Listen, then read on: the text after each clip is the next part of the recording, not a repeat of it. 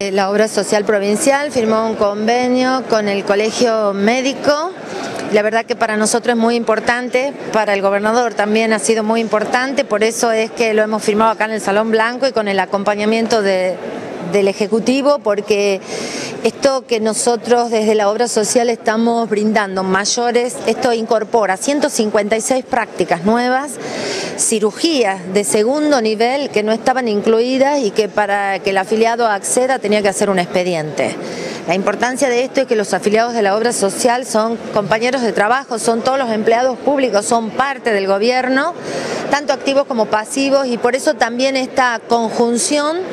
aun cuando todos ven como que es, cierto, la obra social tiene sus recursos propios, pero también tiene un apoyo desde el gobierno con un aporte eh, financiero no reintegrable y fundamentalmente lo que nosotros buscamos es ese mayor beneficio para los afiliados que son parte del gobierno. Estamos muy contentos, el Colegio Médico, en representación de los 2.900 médicos que integran la sociedad,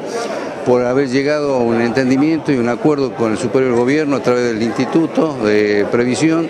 en un trabajo que llevó técnicamente más de un año de evaluación para hoy en un nuevo esfuerzo que realiza la provincia poder este, acordar eh, valores arancelarios para los médicos de importancia y avanzar en mayor menú prestacional hacia los 400.000 afiliados que tiene la obra social. Con este nuevo convenio la obra social ajusta sus valores, va a pagar muchos mejores valores a los médicos, lo que hace que el médico va a firmar un nuevo convenio comprometiéndose a no cobrar estos adicionales, lo cual hace que el afiliado, el empleado público pueda acceder a este tipo de prácticas de una manera mucho más fácil y con mayor equidad.